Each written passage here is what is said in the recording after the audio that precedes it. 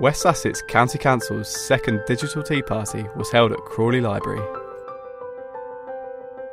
It's an initiative that the County Council has come forward with to um, help residents to get to know more about what they can do online, how to stay safe online. Residents were able to drop in and have a chat with digital experts over a cup of tea.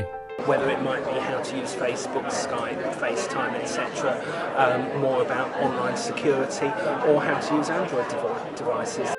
Around 50 people attended the event, and we're continuing to meet with some of them at our digital clubs.